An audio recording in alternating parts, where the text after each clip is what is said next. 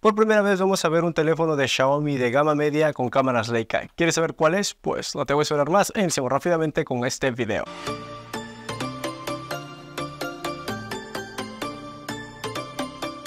Como te dije al inicio, vamos a tener por primera vez un teléfono de Xiaomi de gama media, incluyendo las cámaras o los lentes de Leica. Y es que como todos sabemos, a partir del Xiaomi 11 Ultra empezó Xiaomi a integrar estos lentes de Leica para darle mayor calidad fotográfica a sus dispositivos. Y es que también lo vimos en el Xiaomi 12 Ultra, Xiaomi 13 Ultra y finalmente en este último teléfono de este mismo año, el Xiaomi 14 Ultra. Sin embargo, a partir del Xiaomi 13 es que esta compañía también incluyó sus lentes de Leica no solo en la versión Ultra, sino también en la versión de gama alta, en el Xiaomi 13 y Xiaomi 13 Pro. Teléfonos que por cierto no llegaron a Latinoamérica debido a que tenía restricciones por la firma Leica. Sin embargo, ahora en el Xiaomi 14, Xiaomi no solo se ha quedado con su teléfono Ultra o con sus teléfonos de gama alta, sino que también va a incluir la marca Leica o la firma Leica en sus lentes en sus teléfonos de gama media. Pero tranquilo que desafortunadamente no vienen para la serie Redmi Note, sino que se queda con la serie Lite. Y es que Xiaomi ya presentó el Xiaomi Civi 4 Pro en China, que es un teléfono que llega a los mercados globales con la terminación Lite. Eso significa que el Xiaomi Civi 3 llegó como el Xiaomi